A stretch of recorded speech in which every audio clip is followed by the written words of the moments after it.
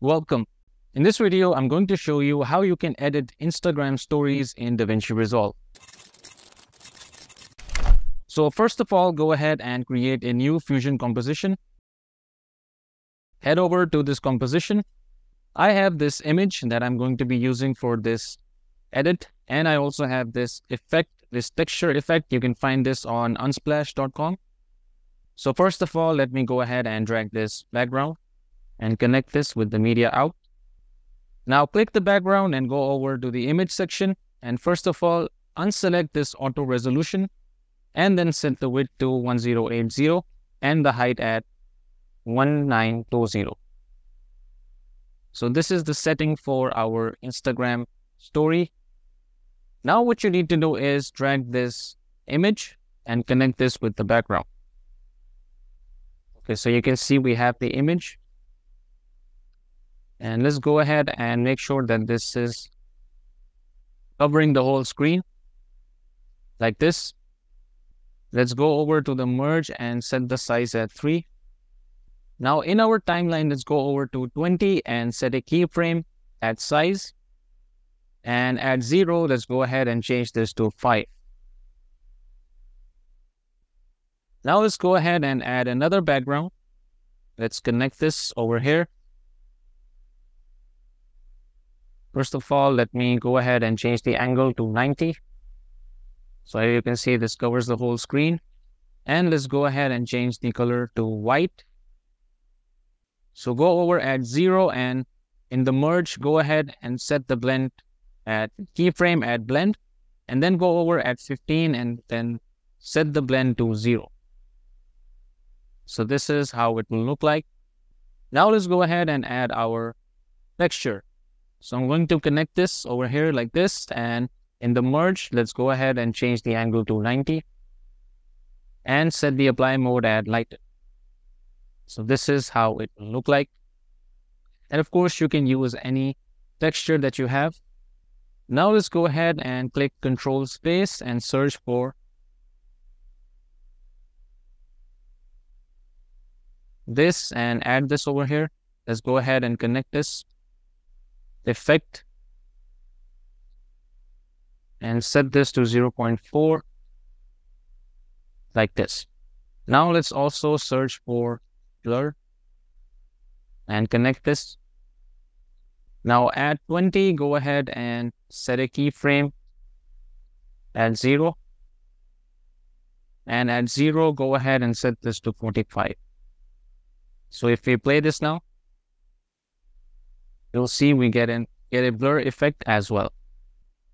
Now let's go ahead and add a text. So I'm going to simply drag this text over here and connect this. And let's go ahead and write visit us and let's go ahead with a light italic and set this to 0.1 set this over here and now let's go over at 40, at 50, sorry, and select our text, go into the layout and create a keyframe at center. And at 40, just simply drag this out of the screen like this. So this is how it will look like, but let's also go ahead in spline and select our text make sure you select or select the keyframes over here and hit S on the keyboard. You can go ahead and click Control T and this will give you a more precise option of ease in. So let's set this at 50. Now see, this is how it will look like. This looks much better. All right, so now let's go ahead and add another background. Connect this with our merge. And once again, I'm going to change the angle to 90 and change the color to white like this. Okay, but this time I'm going to drag this polygon over here and let's go ahead and connect this with the background. Now go ahead and create a zigzag looking effect like this. Let's set the soft edge at 0.2 and the border width at 0.2 as well. And let's go ahead and select invert and unselect this solid. And also set the level at 0.3. This is how it will look like.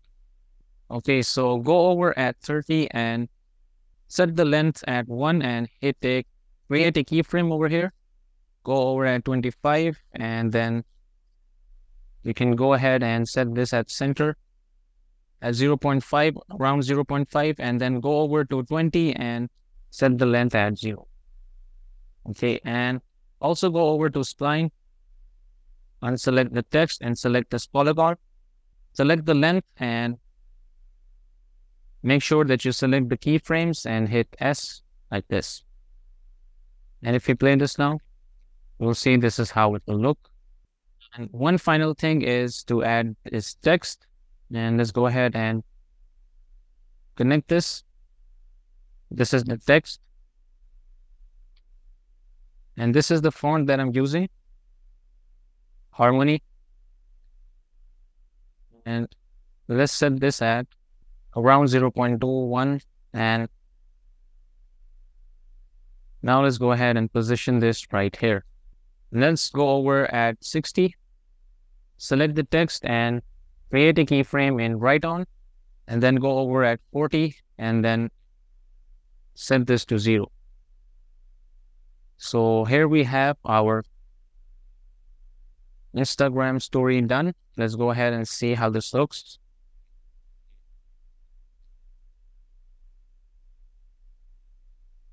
And now go over to your main timeline and over here, if you don't know how to do this, go ahead and create a new timeline.